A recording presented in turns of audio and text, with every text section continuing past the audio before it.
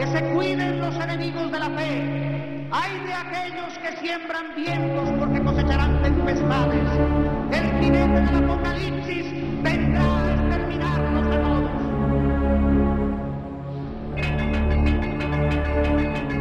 a todos.